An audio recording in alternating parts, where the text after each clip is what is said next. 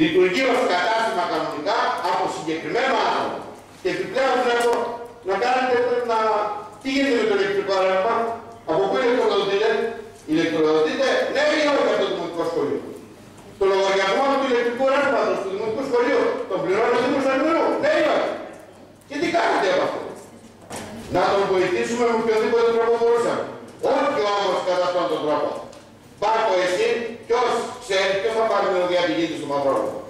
Και επιπλέον, όταν ξέρετε ότι δημιουργήθηκαν και αντικλήσεις μεταξύ επαγγελματιών.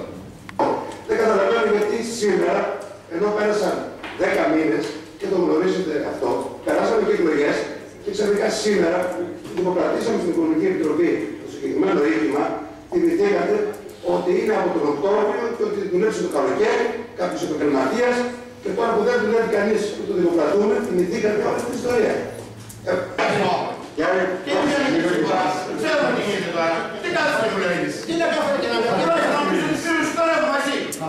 Πόσο είναι το ρεύμα κύριε Θα το πληρώσουμε εμείς κύριε μου. Ε, Ναι, κοίτα, μπαταρία, μέχρι τώρα που υπάρχει κανένα εγώ τα έχω δείξει αν δεν είναι πώς έχετε πληρώσει. Τα έχω δείξει αν δεν γνωρίζω τίποτα από τα μπαταρία. Το ξέρετε αυτό. Εσείς δεν